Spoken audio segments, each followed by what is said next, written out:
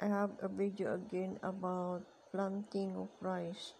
I hope you like my video. Please watch until the end and put a like, a share, and a subscribe. Thank you for watching until the end.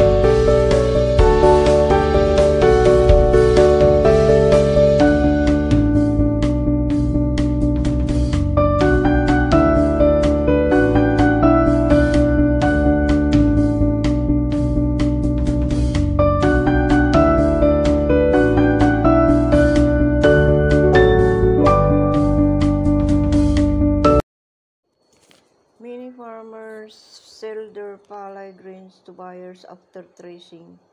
Some prefer to sell milled rice to receive a better amount. Mostly they use the money to pay back an amount they have borrowed for their capital.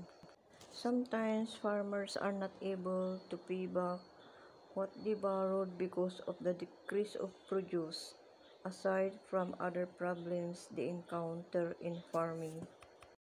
Small produce give small money, and big produce give big money, even millions of it. In farming, everybody is a winner, whether they are poor or they are millionaires. Because health is wealth and everyone is praying for health. Thank you for watching. I hope you like my video until the end.